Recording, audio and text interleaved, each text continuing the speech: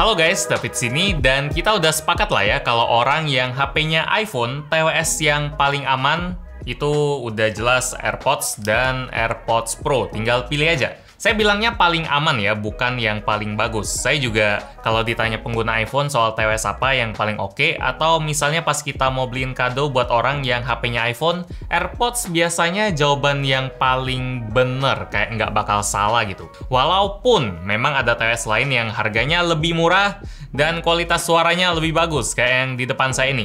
Ini juga cocok buat iPhone, tapi Memang sih agak susah buat nggak ngakuin kalau paling benar tuh kayaknya AirPods ya soal ekosistem dan lain-lain. Nah sekarang gimana kalau kasus yang kayak gini? Ada user iPhone nggak mau pakai AirPods, udah coba dan nggak cocok dia bilang. Atau ada user HP Android yang nanya soal TWS yang paling recommended.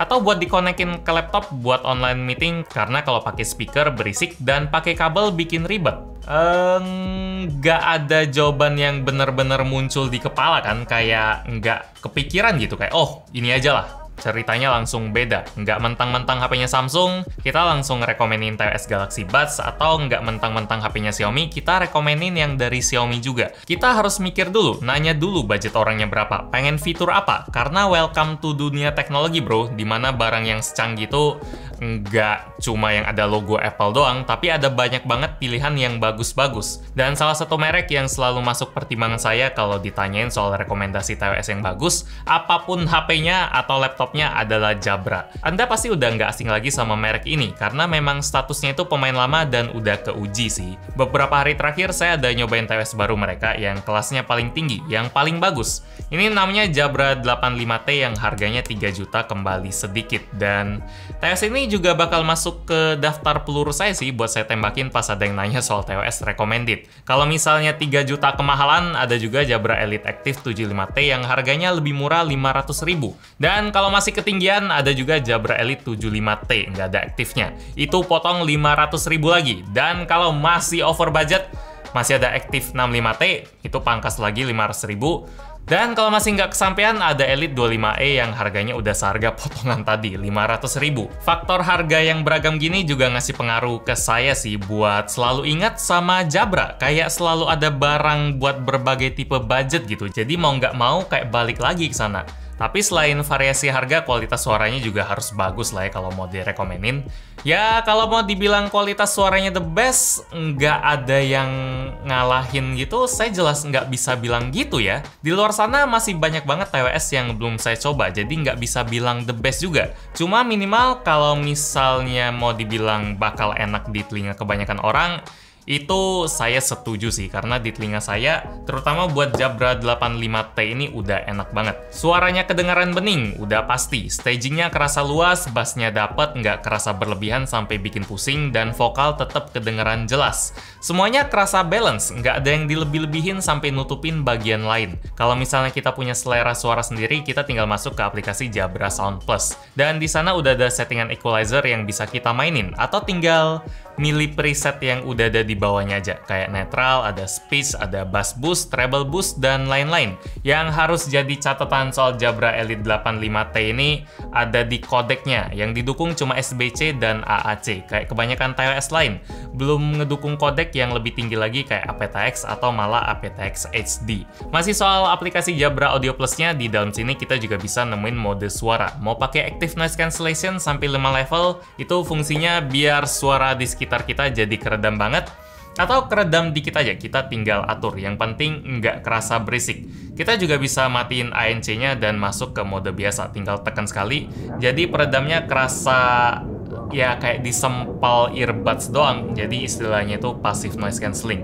Atau kita juga bisa malah minta earbudsnya buat nerusin suara keluar dari luar ke dalam telinga kita. Itu namanya teknologi hear through. Jadi alternatifnya banyak banget dan kita tinggal pilih aja. Lagi pengen tenang, lagi pengen ngobrol, atau lagi pengen biasa aja. Kalau Anda nyari TWS di tahun 2021, fitur-fitur kayak gini udah wajib ada kalau budget Anda 2 juta ke atas. Selain fitur wajib tadi, di dalam app Jabra Audio Plus, kita juga bisa nemuin fitur Find My Jabra yang bakal ngasih tahu di mana terakhir kali TS kita keputus sama HP kita, ke disconnect. Soalnya kalau putus kan berarti ya antara TWS-nya kejauhan atau ya kita lupa ambil Intinya kita jauh dari TWS kita. Dan buat tahu lokasi terakhirnya itu penting banget kalau misalnya kita lagi nyari.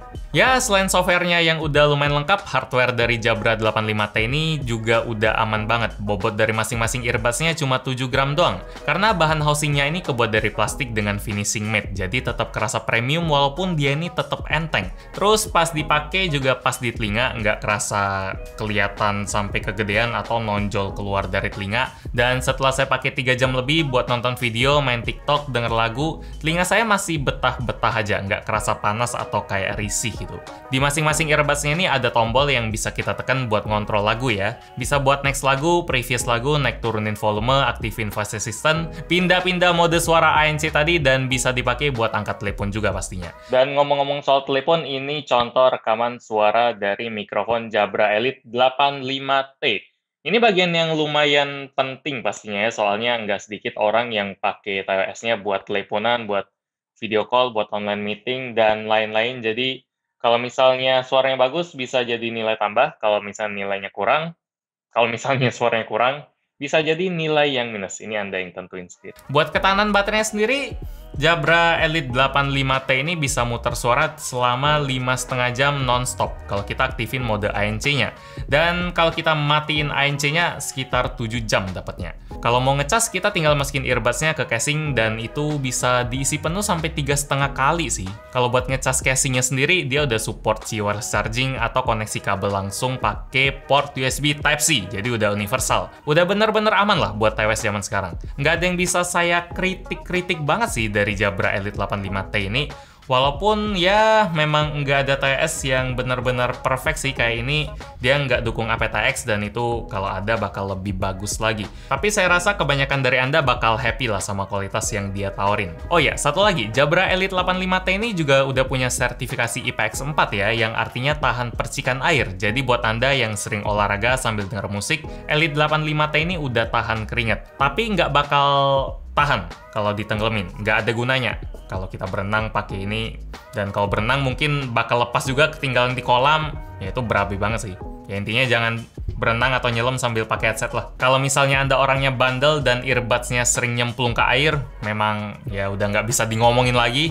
Elite 85T memang nggak cocok. Mending ambil Elite Active 75T karena ya harganya lebih murah. Pertama 500 ribu, lebih murahnya 2,5 juta. Dan dia udah IP57 juga. Bisa ditenggelamin sampai kedalaman 1 meter. Walaupun lagi-lagi kalau tenggelam kayaknya bakal susah nyarinya ya. Ini tahan debu juga. Sesuai namanya lah, cocok buat orang yang lebih aktif lagi, lebih tahan resiko. Jabra Elite Active 75T ini juga udah punya fitur Active Noise Cancelling yang bisa kita dapetin dengan download Jabra Sound Plus karena sistemnya ini dia pakai software, bukan chip khusus kayak 85T. Mungkin Jabra nyadar juga lah ya, sepemikiran sama saya kalau TWS 2 juta ke atas itu udah harus ada ANC. Secara kualitas memang suara yang dihasilin sama peredaman ANC-nya sedikit lebih bagusan yang 85T. Tapi kualitas aktif 75T tetap masuk ke kategori enak lah. Malah lebih seksi mungkin buat orang yang bisa dapetin banyak manfaat dari IP57 tadi. Dan buat Jabra Elite 75T ini yang nggak pakai kata aktif dan lebih murah lagi, buat saya yang paling worth it sih dari ketiganya, ibaratnya harganya cuma 70%-nya Elite 85T, tapi kualitas yang kita dapetin bisa 85-90%-nya yang Elite 85T. Kalau nyari kualitas terbaik, jelas ambil yang 85T punya, tapi kalau nyari yang paling value for money, ambil Elite 75T. Kayak yang saya bilang di awal tadi, merek Jabra ini rata-rata aman buat semua barangnya. Mau pilih yang mana pun, semuanya oke okay lah tergantung budgetnya aja, tinggal disesuaikan. Jadi ya semoga video ini lumayan ngebantu Anda yang nyari TWS baru yang harganya memang lumayan premium sih kalau di bawah juta. Biasanya ada videonya lagi. Tapi Jabra juga ada sih yang di bawah 500 ribu, yang di bawah juta. Jadi like aja kalau suka dengan video ini, dislike kalau nggak suka, dan kita ketemu lagi di video selanjutnya. Yo. TWS memang lebih banyak dari HP sih, agak ribet milihnya.